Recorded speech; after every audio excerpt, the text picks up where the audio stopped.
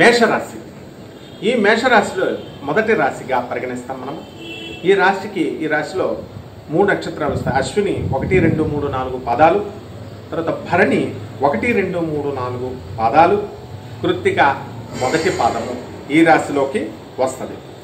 ఈ రాశిలో మనం మేషరాశి వారికి ఆదాయం ఎనిమిది వ్యయం పద్నాలుగు రాజపూజ్యం నాలుగు అవమానం మూడు. మరి ఈ రాశి వారికి ఎలా ఉంది ఈ సంవత్సరము అని అంటే ఈ సంవత్సరము అద్భుతంగా ఉంది. మరి ఖర్చు ఎక్కువగా కనబడుతుంది కాబట్టి హాస్పిటల్కి కొంచెం ఖర్చులు పెట్టాల్సినటువంటి పరిస్థితి వస్తుంది. రాబడి రాబడి బాగానే ఉంది. మరి ద్వితీయంలో రాహువు శుభ ఫలితాలని ఇస్తాడు. మరి అలాగే లాభంలో గురుడు సెప్టెంబర్ పద్నాలుగు వరకు రెండు వేల ఇరవై ఒకటి వరకు లాభంలో గురుడు ఉండడం వలన వీరు అనుకున్నటువంటి పనులన్నీ కూడా సాధిస్తారు. ఆ తర్వాత నాలుగవ ఇంట్లో రవి ఉండడం వలన మాతృ సంబంధమైనటువంటి వీళ్ళ తల్లికి సంబంధించి మరి వీరు కొంచెం నలతగా ఉంటుంది ఆరోగ్య భంగాలు ఉన్నాయి. మరి తల్లి యొక్క ఆరోగ్య భంగాల వల్ల వీరి యొక్క మనో విచారం కూడా వీరికి అధికమవుతుంటుంది. ఇకపోతే ఐదో ఇంట్లో కుచుడు శుభ ఫలితాలను ఇస్తాడు. ఆరో ఇంట్లో శుక్రుడు ఉండడం వల్ల కలత్రము అంటే భార్యతో ఇతర స్త్రీలతో తల్లి అది తల్లి అవ్వచ్చు చెల్లి అవ్వచ్చు వీళ్ళు ఎవరైనా సరే స్త్రీలతో అపార్థం చేసుకోవడానికి అవకాశాలు ఉంటాయి. అందువల్ల వీరు కొంచెం జాగ్రత్తగా వ్యవహరించడం మంచిది. అలాగే శని దశమ స్థానంలో ఉండడం వలన మకర రాశిలో స్వక్షేత్రంలో ఉండడం వలన వక్రగతిలో ఉండడం వలన వీరికి ఏమి ఇవన్నీ కూడా ఈ ఎఫెక్ట్స్ అన్నీ కూడా నల్లిఫై అవుతుంది.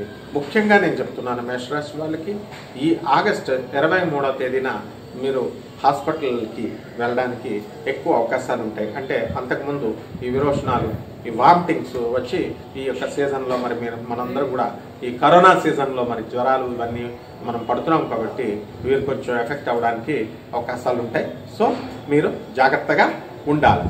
ఇకపోతే విద్యార్థులకి చక్కగా వాళ్ళు ఎవరు కూడా ఆన్లైన్ ఎగ్జామ్స్ అవడం వల్ల బ్రహ్మాండంగా రాసేస్తారు.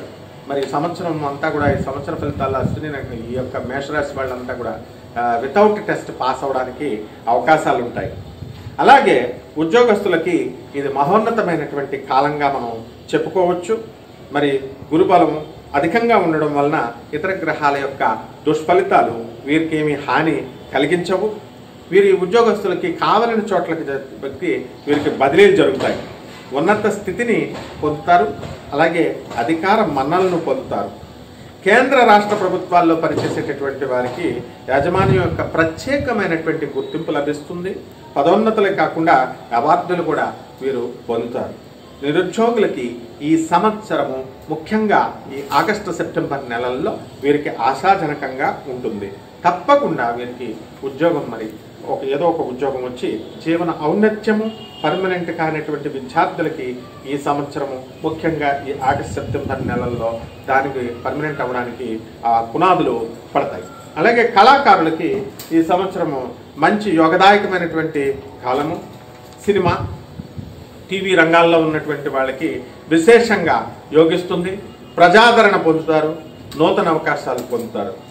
అందువల్ల మీ విద్యార్థులందరూ కూడా ఈ కరోనా ఈ సంవత్సరంలో కేవలం మేషరాశి వారే కాకుండా ఈ పన్నెండు రాశుల వాళ్ళు కూడా పరీక్షలు రాయకుండానే మీరందరికీ కూడా ఉత్తీర్ణులు అవుతా అవడానికి అవకాశాలు చాలా ఎక్కువగా ఉన్నాయి. శుభం పురుగా